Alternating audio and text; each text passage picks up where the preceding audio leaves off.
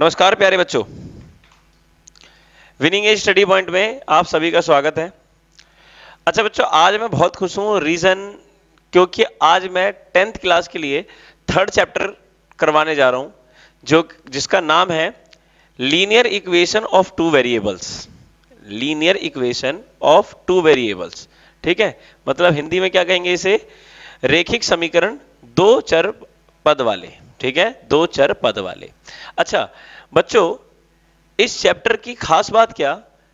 कि इसको सॉल्व करना ना बहुत ही ज़्यादा इंटरेस्टिंग है। इसको सॉल्व करना बहुत ही ज़्यादा इंटरेस्टिंग है। इस वजह से इसको सॉल्व करने में बहुत मज़ा आता है। ठीक है? और अगर ये आपको एक बार क्लियर हो गया तो सारी बातें आपको अपने आप समझ में आने लगेंगी कि इस चैप्टर ने आपसे डिमांड क्या की है। ठीक है? अच्छा बच्चों, एक बात और कहना चाहूँगा। जैसे आर डी शर्मा के, अभी आपको फ़िलहाल सीबीएसई वाले क्वेश्चन ठीक है? सीबीएसई वाले क्वेश्चन और उसमें जो एनसीईआरटी लिखा हुआ है, वो सारे क्वेश्चन आप अपने से कवर करते चलो, ठीक है? क्योंकि डाउट तो हम साथ साथ लेके चलेंगे लेकिन मैंने ये सोचा है अब से कि ना, अब हम लोग एक डाउट क्लास भी अरेंज करेंगे। हफ़्ते में एक बार एक डाउट क्लास भी अरेंज करेंगे, जिसमें आप क्या करना, जैसे जब भी मेरे को डाउट क्लास लेनी होगी हफ़्ते में, वो मैं कभी भी ले सकता हूँ, ठीक है? और बस मैं आपको अनाउंस कर दूँगा कि प्यारे बच्चों, आप अपने सारे डाउट्स मुझे सेंड कर दीजिए। तो एक दिन पहले ही बता दूँगा मैं, ताकि आप लोग अपने डाउट कलेक्ट कर लें और वो सारे मुझे सेंड कर दें। तो उनमें से जितने भी कॉमन डाउट्स होंगे या जो भी होंगे, वो सारे के सारे डाउट्स मैं यहाँ बोर्ड पर कराऊँगा। इससे होगा क्या कि हम चैप्टर में भी आगे बढ़ते रहेंगे और साथ ही साथ अपना डाउट भी खत्म करते रहेंगे। ठीक है?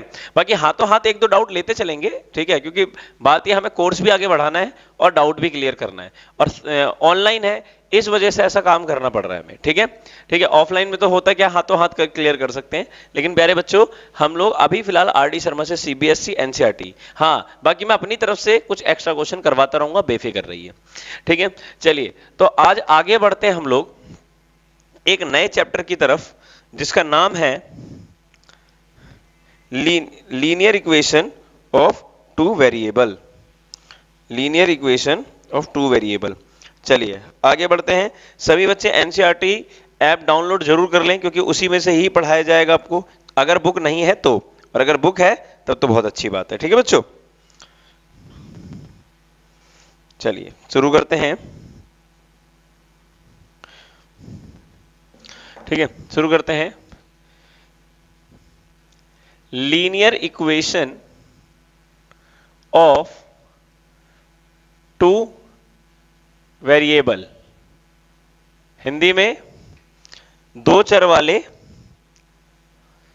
दो चर वाले रेखिक समीकरण। ठीक है बच्चों? अब बहुत मज़ा आने वाला पढ़ने में, बहुत मज़ा। क्योंकि इतना ज़्यादा इंटरेस्टिंग चैप्टर है, इतना ज़्यादा इंटरेस्टिंग चैप्टर है कि जब आप पढ़ोगे ना तो इसके अंदर आपको खुद ही फील होगा कि भाई कितनी अच्छी चीज़ है और कितना अच्छा कंसेप्ट है कि हम पढ़ रहे हैं और क्वेश्चन हमें क्लियर हो रहा है। इसमें सारा खेल, प्यारे बच्चों वर्डिंग का होता है वर्ड्स का। अगर आपने उन वर्ड्स को समझ लिया तो आप राजा बन गए फिर। तो देखिए कैसे राजा बनते हैं, जरा सुनते हैं। सबसे पहले चैप्टर का नाम है, उस नाम को क्लियर करेंगे और फिर आगे बढ़ेंगे। तो चैप्टर का नाम क्या है, प्यारे बच्चों? देखो। देखो, पहले मैं इंग्लिश वाले के लिए भी बता रहा हूँ, फिर मैं हिंदी वालों के लिए भी बताऊँगा। अच्छा लीनियर इक्वेशन पहले मेरी बात को ध्यान से सुनिएगा। लीनियर इक्वेशन ये क्या चीज़ होती है लीनियर इक्वेशन तो मेरे प्यारे बच्चों लीनियर इक्वेशन मैंने आपको बताया था और आप लोगों ने नाइन्थ क्लास में पढ़ भी रखा है कि लीनियर इक्वेशन वो होता है जिसकी मैक्सिमम पावर वन हो। जिसकी मतलब किसकी? वेरिएबल की।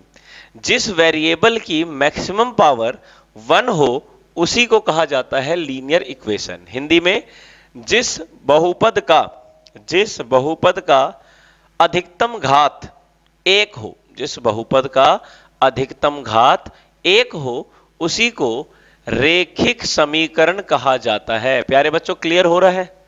जिसका क्या मैक्सिमम पावर क्या हो? वन हो। जैसे व एक्स प्लस टू बराबर ज़ीरो बराबर ज़ीरो तो देखिए, ये वेरिएबल है एक चर पद है और इसकी हाईएस्ट पावर कितनी है? वन तो ये बन गया रेखिक समीकरण। लेकिन बच्चों, हमें सिर्फ़ रेखिक समीकरण नहीं बोला है। हमें सिर्फ़ लीनियर इक्वेशन नहीं बोला है।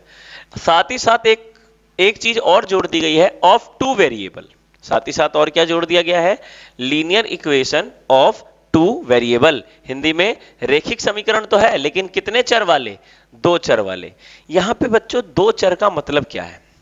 यहाँ पे बच्चों दो चर का मतलब यह है कि जब हम लोग क्वेश्चन सॉल्व करेंगे ना तो वहाँ पे हमें हर बार दो वेरिएबल नज़र आएँगे, दो चर नज़र आएँगे। जैसे यहाँ पे x प्लस टू बराबर ज़ीरो लिख दिया तो ये क्या है? सिंगल वेरिएबल है, क्यों? खाली x है।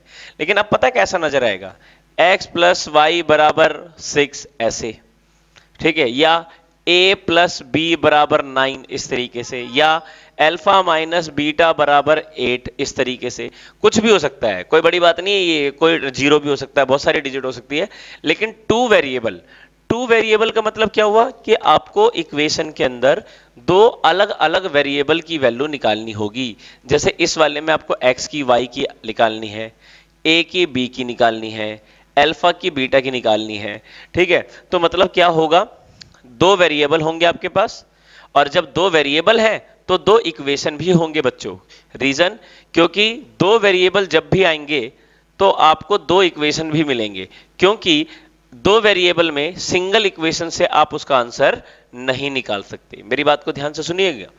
दो वेरिएबल में, दो चर पदों में आपके पास दो समीकरण मिलेंगे, दो इक्वेशन मिलेंगे। क्योंकि आप बिना दो इक्वेशन के उसको सॉल्व नहीं कर पाएँगे, हल नहीं कर पाएँगे और फिर उसका आंसर नहीं निकलेगा। इसलिए मैं आपको जब जब क्वेश्चन करवाऊँगा इस चैप्टर में, जब भी क्वेश्चन करवाऊँगा तो आपके सामने मैं हर बार दो इक्वेशन लिखूँगा। क्यों? क्योंकि वेरिएबल जब दो है तो इक्वेशन भी दो होगी। मेरी बात समझ में आ रही है सभी बच्चों को? अगर वेरिएबल दो है तो इक्वेशन भी दो होगी। क्योंकि दो इक्वेशन को सॉल्व करने पर ही उन दोनों वेरिएबल का, उन दोनों चर पदों का आंसर निकलेगा। मुझे पता है अभी थोड़ी सी दिक्कत हो रही होगी आप सभी को। थोड़ा थोड़ा है ना, लग रहा होगा कि यार क्या पढ़ रहे हैं हम, थोड़ा अजीब सा लग रहा है। लेकिन बच्चों, सिर्फ़ कुछ क्षण और उसके बाद ये चैप्टर आपका फेवरेट बनने वाला बेफिक्र रही है ठीक है? देखिए। ठीक? इतनी बात तो समझ में आ गई होगी कि लीनियर इक्वेशन मतलब जिसके highest power one of two variable ऐसे मतलब ऐसे क्वेश्चन जिसके अंदर दो दो वेरिएबल छुपे हों। वो एक्स वाई भी हो सकता है ए बी भी हो सकता है अल्फ़ा बीटा भी हो सकता है, कुछ और भी हो सकता है। ठीक है? तो आप उसके लिए तो बेफिक्र रहिए। ठीक, अब इस पे क्वेश्चन किस प्रकार के आते हैं, वो बताता हूँ। ठीक है? इस पर क्वेश्चन किस प्रकार के आते हैं, वो बताते हैं। ठीक है? जैसे मैं अभी तो फ़िलहाल मैं एक क्वेश्चन लेके देख रहा हूँ, ठीक है? बाकी हम धीरे धीरे आगे बात करेंगे इस बारे में, टेंशन मत लो, ठीक है? अभी हमें सिर्फ़ ट्रायल लेना है तो एक ट्रायल बनाते हैं इसका। जैसे बच्चों, कैसे क्वेश्चन आएँगे? देखो, मैं बताता हूँ आपको। जैसे मान लो, एक प्यारा लड़का है एक्स ठीक है? या चलिए, कोई सा भी एक, जैसे बच्चे का नाम भाई, राहुल, ठीक है? अब इनके कोई कोच है, ठीक है? एक प्यारा बच्चा हो गया राहुल, ठीक है? इनके कोई क्रिकेट कोच है, ठीक है? उन्होंने क्या कहा कि काम करो, इनसे कहा, ठीक है? इनसे कहा कि भाई, राहुल, एक काम करो, पाँच बैट ले आओ, क्या ले आओ? पाँच बैट ले आओ और तीन बॉल ले आओ, ठीक है? पाँच बैट ले आओ और क्या ले आओ? तीन बॉल ले आओ, ठीक है?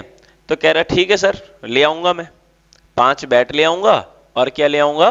तीन बॉल ले आऊँगा। ठीक है? अच्छा अब पाँच बैट लाने के लिए बोला, और एक काम करते हैं, इसको चार इसको हम कर लेते हैं, ऐसा करते हैं चार। ठीक है? हाँ चार बॉल कर लेते हैं। ठीक है? अब उन्होंने क्या बोला कि, प्यारे बच्चे, आप पाँच बैट ले आइए, और क्या ले आइए? चार बॉल ले आइए, और उसको पैसे कितने दिए? चौदह सौ रुपए दिए। कितने दिए? चौदह सौ रुपए दिए। ठीक है? लेकिन अब ये क्या किया?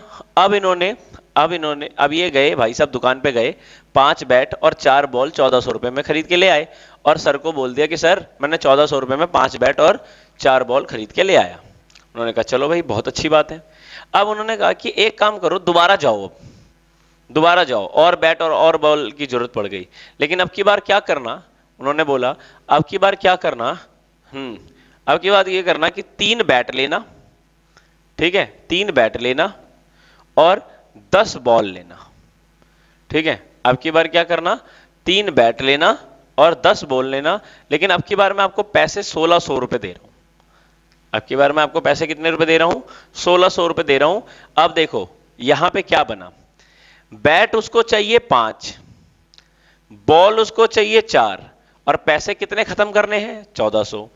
लेकिन जब दूसरी बार वो लड़का गया राहुल तो अब की बार उसको तीन बैट लेने हैं, दस बॉल लेने हैं, और उसको पैसे कितने खत्म करने हैं?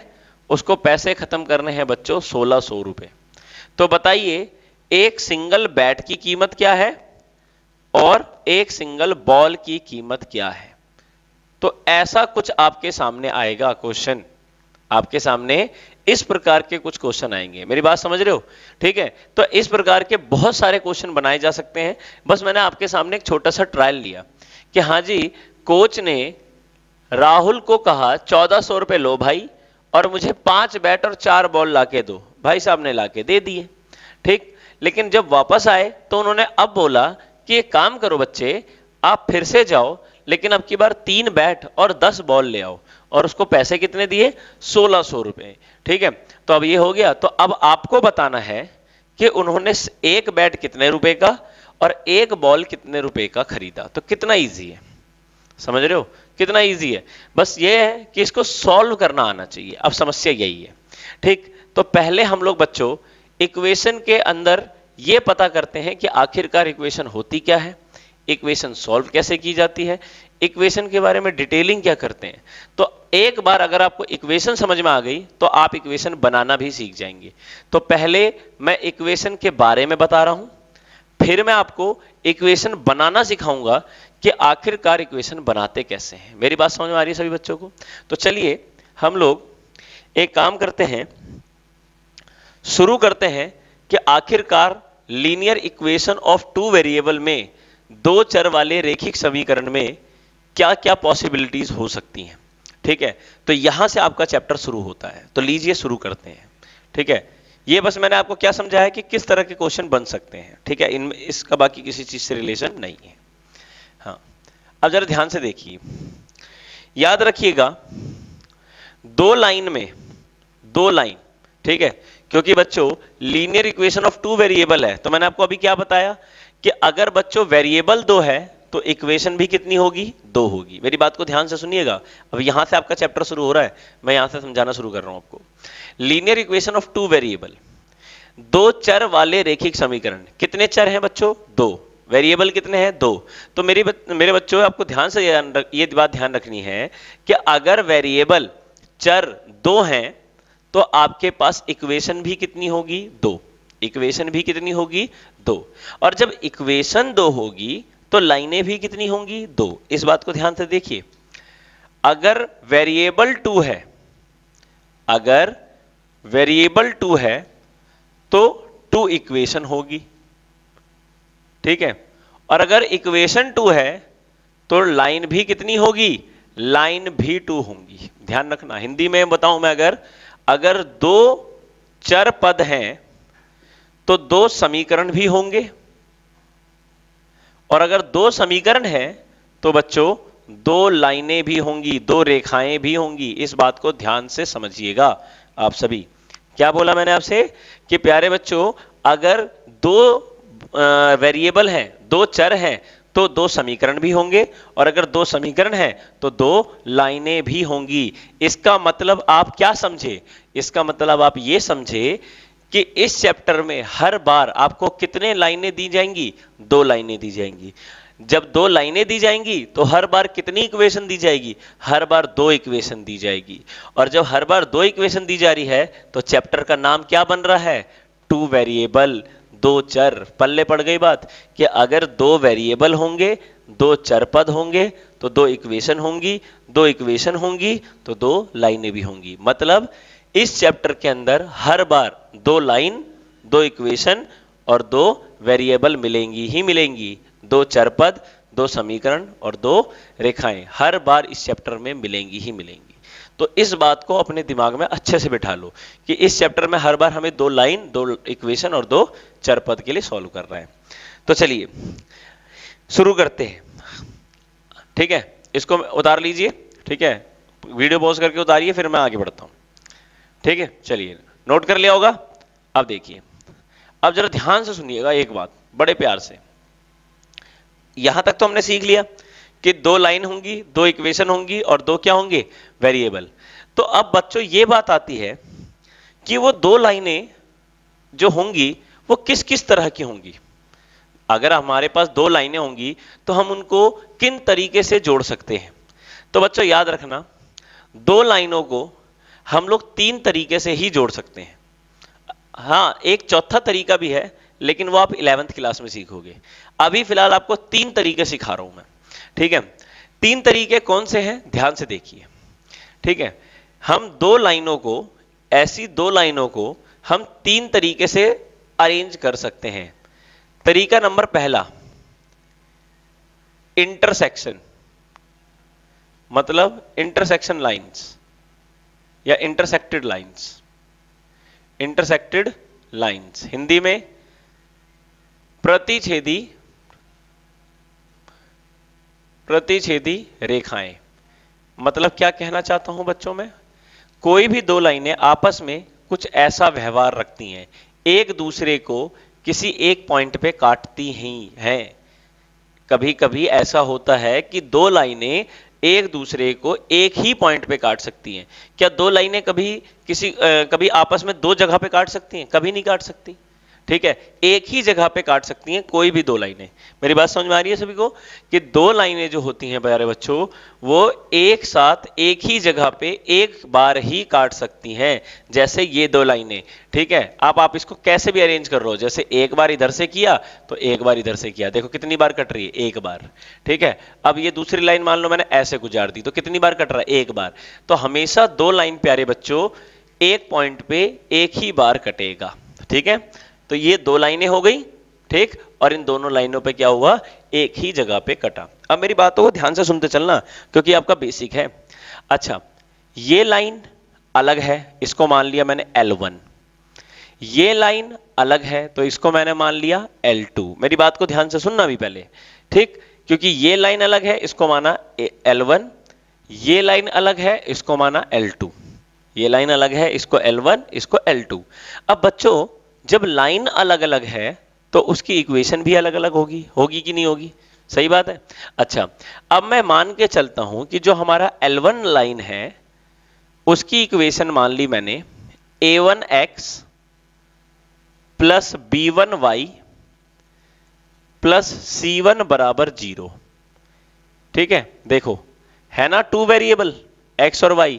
और लीनियर भी है। क्यों? क्योंकि दोनों के हाईएस्ट पावर वन अच्छा L2 लाइन की इक्वेशन मैंने मान ली। A two x plus b two y plus c two बराबर ज़ीरो ये मैंने L2 लाइन की इक्वेशन मान ली। ध्यान से सुनिएगा। अब ये आप पूछ रहे हैं कि भैया ये A1 B1 C1 क्या है? या A2 B2 C2 क्या है? तो प्यारे बच्चों, ये ना अलग अलग नंबर हैं, क्योंकि जब आपको इक्वेशन दिखाई दी जाएँगी तो वहाँ पे नंबर लिखे होंगे।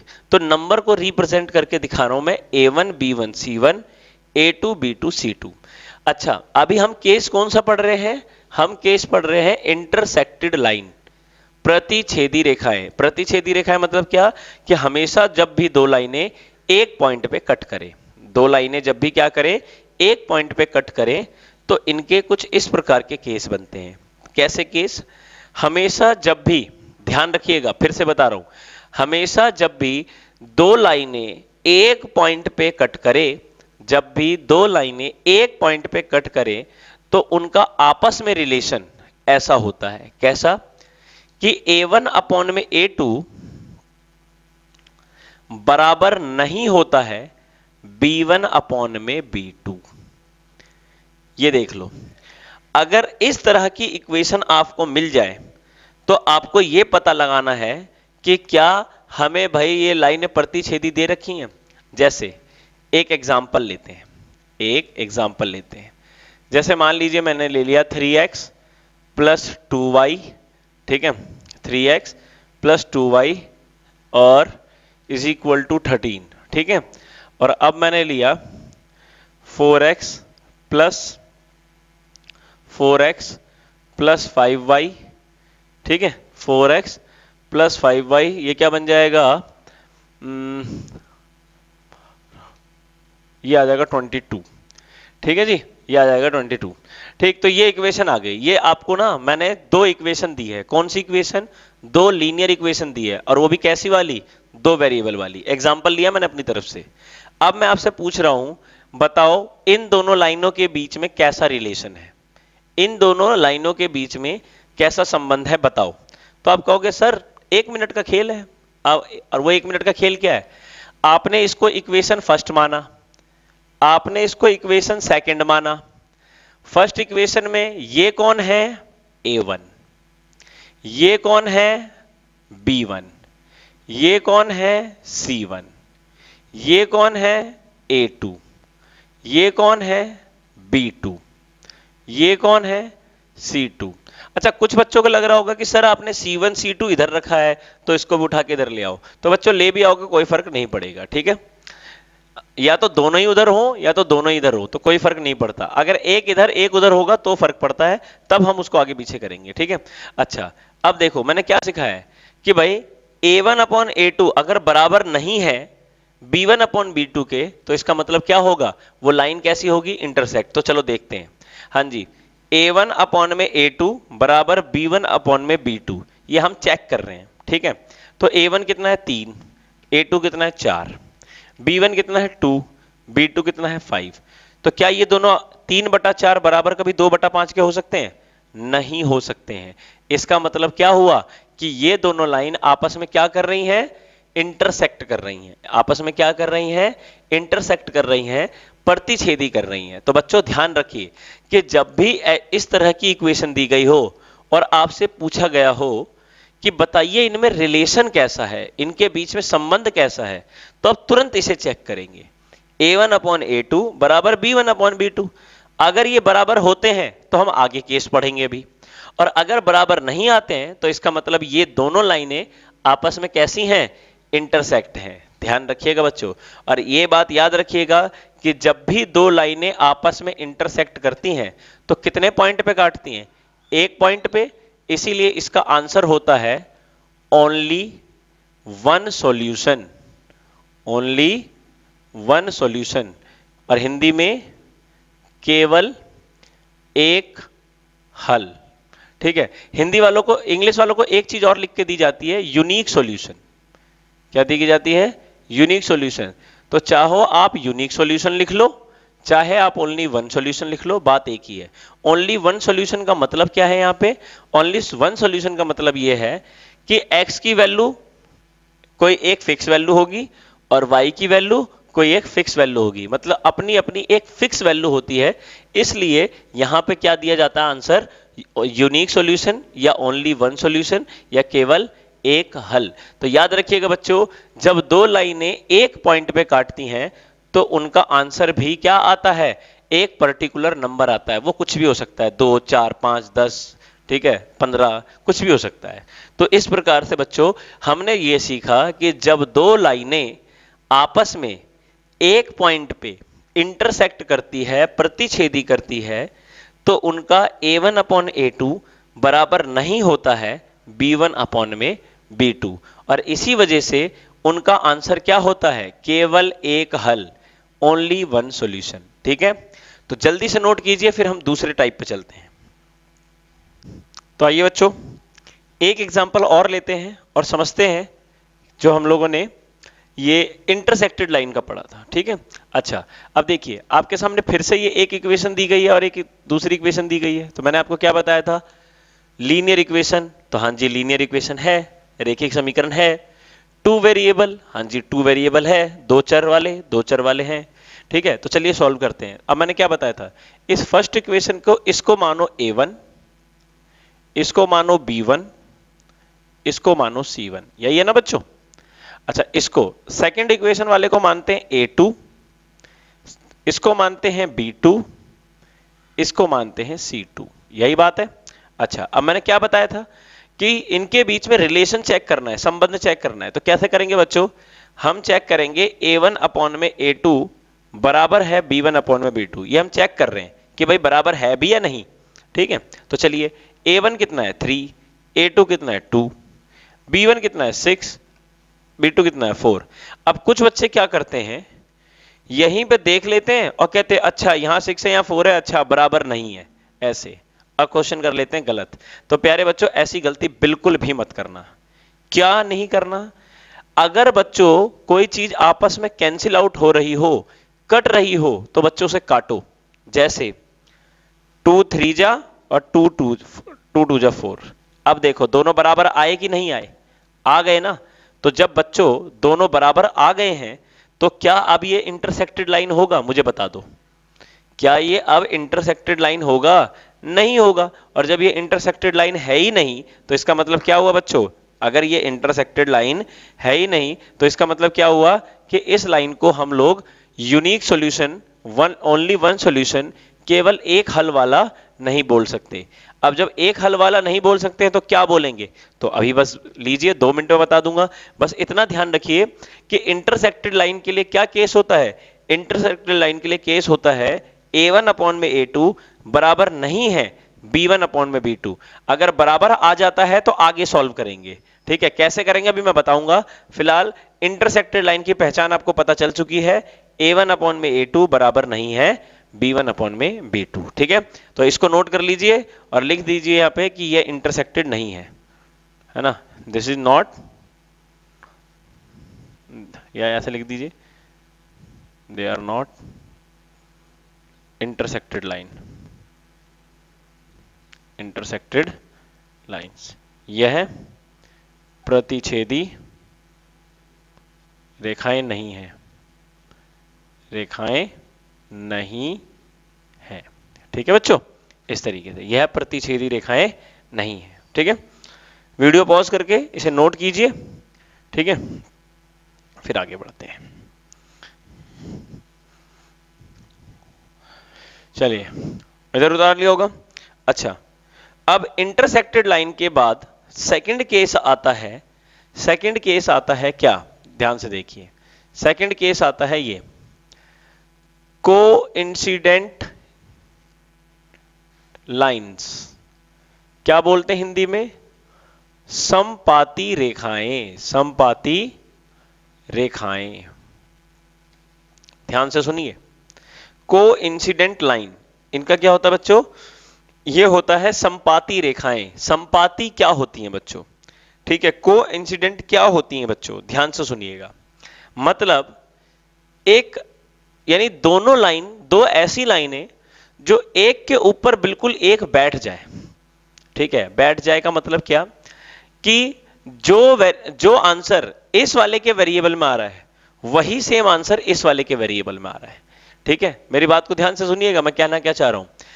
कि इसका आंसर, मान लीजिए इसके x का और इसके y का आंसर दो है तो जो दूसरी लाइन है ना, उसके भी x का आंसर दो है और उसके भी y का आंसर दो है। तो इसका मतलब क्या हुआ कि दोनों लाइनें कैसी बैठी हुई हैं? एक के ऊपर एक बैठी हुई है। एक के ऊपर एक। को इंसिडेंट को इंसिडेंट का मतलब क्या? कि दोनों, को मतलब ऑल बोथ आ गया दोनों, ठीक है? को मतलब हो गया बोथ और इंसिडेंट मतलब एक के ऊपर एक। मतलब जिस एक्सिस पे ये लाई कर रहा है, उसी एक्सिस पे ये भी लाई कर रहा है। मैंने क्या समझाया? कि अगर इस लाइन के एक्स की वैल्यू दो और इस लाइन के वाई की वैल्यू दो है तो इस लाइन के x की वैल्यू भी दो होगी और इस वाले y की वैल्यू भी दो होगी। तो मतलब क्या हुआ? हमने देखा कि दोनों की वैल्यू बिल्कुल कैसी है? सेम है। तो ऐसी सिचुएशन में क्या होता है बच्चों? कि इनको कहा जाता है, को इंसिडेंट लाइन हिंदी में समपाती रेखाएँ। मतलब क्या बच्चों? कि एक लाइन के ऊपर, एक लाइन के ऊपर, इसी के ऊपर ये दूसरी लाइन, ये दूसरी लाइन। पल्ले पड़ रही बात, क्या बताना चाह रहा हूँ मैं? ध्यान से सुनिएगा। ठीक है? ध्यान से सुनिएगा मैंने क्या बताया। क्या बताया मैंने? कि भाई एक लाइन के ऊपर ही ऐसे ये दूसरी लाइन। तो इस लाइन को कहा जाता है बच्चों को इंसिडेंट लाइन, क्या कहा जाता है? को इंसिडेंट लाइन। ये वाला हो गया L1 जबकि ये वाला क्या हो गया? L2 ये क्या हो गया? L2 ठीक है, अब मैंने क्या बताया? L1 की इक्वेशन मान लो, क्या होगी? A1x b1y c1 बराबर ज़ीरो और L2 की क्या मान लोगे? A2x b2y plus C two बराबर ज़ीरो अच्छा अब हम को इंसिडेंट लाइन को पहचाने कैसे? संपाती रेखाओं को पहचाने कैसे? तो मैंने क्या बताया?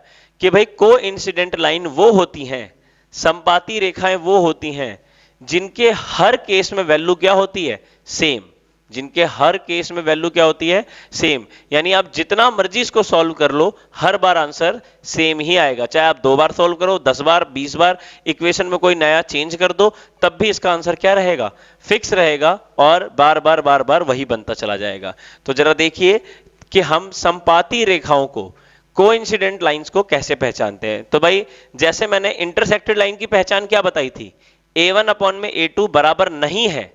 बी वन अपॉन में बी टू लेकिन प्यारे बच्चों को इंसिडेंट लाइन की पहचान होती है ए वन अपॉन में ए टू बराबर बी वन अपॉन में बी टू बराबर सी वन अपॉन में सी टू मतलब इसमें तीनों के तीनों आपस में क्या होते हैं? बराबर होते हैं। तीनों के तीनों आपस में क्या होते हैं?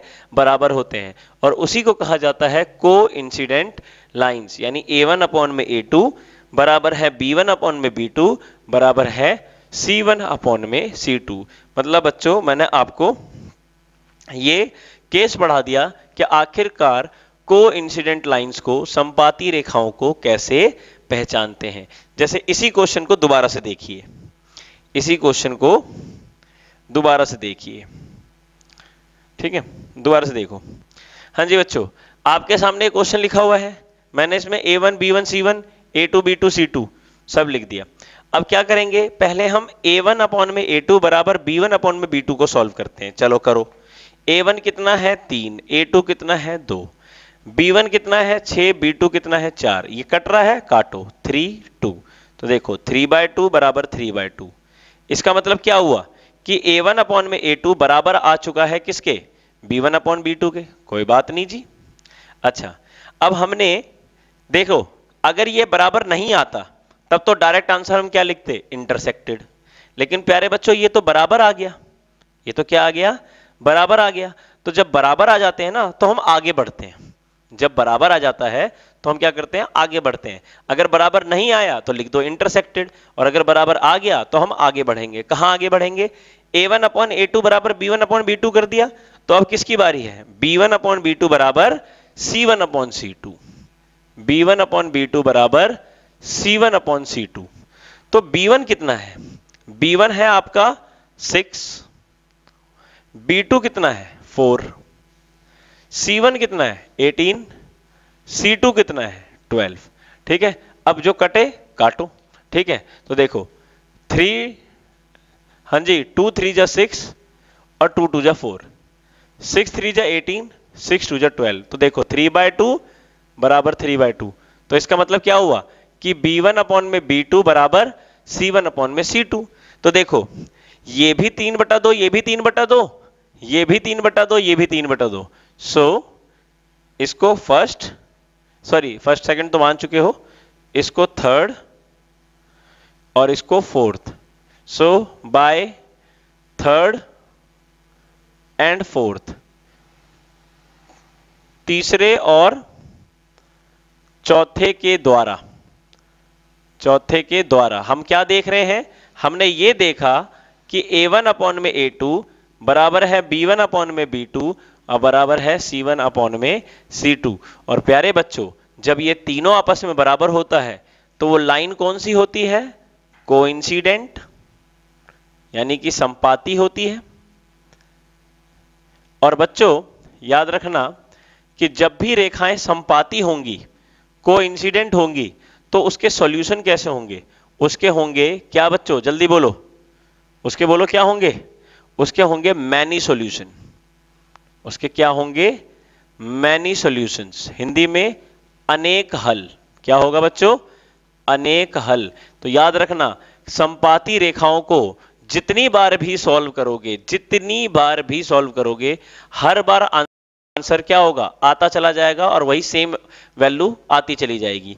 तो इसलिए इसको लिखा जाता है मैनी सॉल्यूशंस अनेक हल। तो अगर आपसे कोई पूछे कि को लाइन्स का, संपाती रेखाएँ का आंसर क्या होगा तो आप लिखेंगे मैनी सॉल्यूशन क्या लिखेंगे?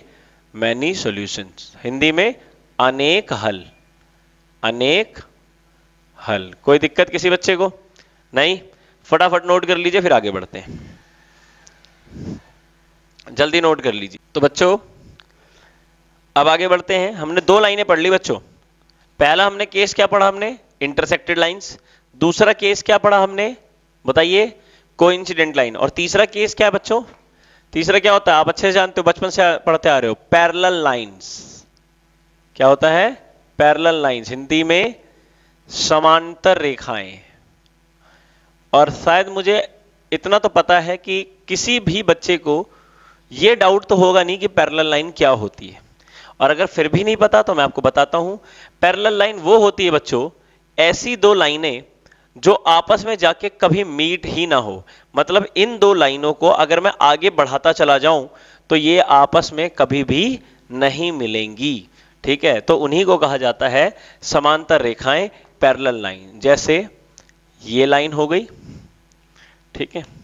और इसी के पैरेलल देखो, मैंने ऊपर नीचे बना दिया होगा थोड़ा, ठीक है? तो समझ जाना, कोई स्केल से तो हम कर नहीं रहे, ठीक है? तो ये हो गई हमारी पैरेलल लाइंस ये क्या हो गई हमारी? पैरेलल लाइन और आप अच्छे जानते हो ये L1 है, ये L2 है. L1 नाम मैंने इक्वेशन में क्या लिया? A X A one X B one Y plus C one बराबर ज़ीरो और L2 इक्वेशन मैंने क्या ले लिया? A two X B two Y plus C two बराबर ज़ीरो। कोई दिक्कत किसी बच्चे को? कोई भी समस्या? नहीं। अच्छा अब मैंने क्या बात की थी आपसे कि जब दो लाइनें आपस में पैरेलल हो तो पैरेलल लाइनों को पहचानने का क्या भाई तरीका होता है? तो देखो, सबसे पहले याद करो इंटरसेक्टेड लाइन की पहचान क्या थी? A one upon A two बराबर नहीं है B one upon B two अच्छा संपाती रेखाएँ को इंसिडेंट लाइन इनकी पहचान क्या थी? A one upon A two बराबर B one upon B two बराबर C one upon C two अच्छा। अब इसकी पहचान क्या है? तो इसकी पहचान है बच्चों A one upon A two बराबर B one upon B two लेकिन बराबर नहीं है C one upon C two कोई भी समस्या किसी के लिए? बताइए। कोई भी समस्या? नहीं। अब हम क्या करेंगे? अब हम यहाँ पर एक एग्ज़ाम्पल लेंगे ताकि हमारा डाउट क्लियर हो जाए। अच्छा अब एक बात और बताना चाहूँगा। अच्छा बच्चों, एक बात बताओ। जब दो लाइनें, मैंने आपको बताया, जब दो लाइनें एक पॉइंट पे काट रही थी, एक सिंगल पॉइंट पे काट रही थी तो उनकी वैल्यू कैसी थी? Only one solution unique solution मतलब अपने आप में एक फिक्स वैल्यू और जब एक के ऊपर एक थी तो सॉल्यूशन कैसा था? मैनी सॉल्यूशन लेकिन बच्चों, क्या अब ये लाइन कहीं पे भी एक दूसरे को काट रही है? नहीं काट रही। तो जब ये लाइन आपस में एक दूसरे को काट ही नहीं रही तो क्या इनका कोई भी सोल्यूशन होगा? नहीं होगा। सिंपल तो इसका आंसर क्या बनेगा बच्चों? नो सॉल्यूशन हिंदी में क्या? कोई हल नहीं। कोई हल नहीं। यानी बच्चों पैरेलल लाइन का कभी भी कोई सॉल्यूशन नहीं होता है। पैरेलल लाइन का कभी भी कोई सॉल्यूशन कोई हल नहीं होता। ठीक है तो चलिए मैं एक एग्जांपल लेता हूँ। जैसे मान लीजिए, मैं आपके सामने एग्ज़ाम्पल लेने जा रहा हूँ। तो बच्चों, लीजिए, मैंने आपके सामने ये इक्वेशन लिखी है, ठीक है? अच्छा अब एक, इस इक्वेशन में हमें क्या पता करना है? ये इक्वेशन फ़र्स्ट है ना प्यारे बच्चों? और ये इक्वेशन सेकंड ठीक है तो फ़र्स्ट इक्वेशन मतलब ए वन कितना हुआ? थ्री बी वन कितना हुआ? फोर और सी वन कितना हुआ? टेन और इसमें देखेंगे ए टू कितना है? सिक्स बी टू कितना है? एट सी टू कितना है? ट्वेंटी टू यही है ना बच्चों? अब देखिए, क्या करेंगे अब? अब हम सॉल्व करेंगे। तो सबसे पहले नाउ सबसे पहले ए वन अपॉन में ए टू बराबर है बी वन अपॉन में बी टू चलो चेक करते हैं। ए वन तीन ए टू छ बी वन चार बी टू आठ. तीन एकम तीन तीन दूनी छह, यानी थ्री वन जा थ्री थ्री टू जा सिक्स फोर वन जा फोर फोर टू जा एट तो देखो, ये भी वन बाय टू ये भी वन बाय टू इसका मतलब क्या हुआ? कि ए वन अपॉन में A two A one upon में ए टू बराबर है बी वन अपॉन में बी टू चलिए, अब आगे बढ़ेंगे हम। अब आगे बढ़ेंगे। नाउ अब किसकी बारी? जब ए वन अपॉन में ए टू बराबर बी वन अपॉन में बी टू आ गया है तो अब हम लेंगे बी वन अपॉन में बी टू बराबर सी वन अपॉन में सी टू चलो तो हाँ जी बी वन कितना है? चार। बी टू आठ। सी वन दस। सी टू बाईस। काटेंगे एक, काटेंगे दो। दो से काटेंगे पाँच, दो से काटेंगे ग्यारह। अरे भाई, ये तो एक बटा दो बराबर पाँच बटा ग्यारह आ गया। तो क्या ये आपस में कभी बराबर हो सकते हैं? नहीं। तो इसका मतलब क्या हुआ कि बी वन अपॉन में बी टू बराबर नहीं है सी वन अपॉन में सी टू और प्यारे बच्चों, जब इस तरीके से इसको मान लो आप थर्ड और इसको मान लो आप फोर्थ तो बाय थर्ड एंड फोर्थ तीन और चार के द्वारा, तीन और चार के द्वारा, हम क्या देख रहे हैं? हमने ये देखा कि भाई ए वन अपॉन में ए टू बराबर बी वन अपॉन में बी टू तो है, लेकिन बी वन अपॉन में बी टू बराबर नहीं है सी वन अपॉन में सी टू बराबर नहीं है सी वन अपॉन में सी टू तो बच्चों, इससे हमें क्या पता चलता है? इससे हमें यह पता चलता है कि जब ए वन अपॉन में ए टू बराबर है बी वन अपॉन में बी टू लेकिन बराबर नहीं है सी वन अपॉन में सी टू तो इसका मतलब ये लाइन कैसी है? ये लाइन प्यारे बच्चों पैरल है, समांतर है। और बच्चों, समांतर रेखाओं में क्या होता है? नो सॉल्यूशन कोई हल नहीं। इनके बीच में कैसा रिलेशन है? पैरेलल लाइन है। और इनका सॉल्यूशन क्या है? नो no सॉल्यूशन कोई सॉल्यूशन नहीं। क्यों? क्योंकि जब दो लाइनें एक दूसरे को काटेंगी ही नहीं तो उनका कोई सॉल्यूशन होगा भी नहीं। ठीक है? तो प्यारे बच्चों, आपको यह करने के लिए दिया गया है। ठीक है? आप सभी बच्चे एनसीआरटी एनसीआरटी का 3.2 करके लेकर आएँगे। आप पूछोगे 3.1 क्यों नहीं? तो प्यारे बच्चों, उसका समय आएगा। पहले आप 3.2 कीजिए, ठीक है? तो 3.2 में आप लोगों को ये सॉल्व करना है, ठीक है? मैं बता दूँ कितने क्वेश्चन नंबर से। ये भी देख लीजिए।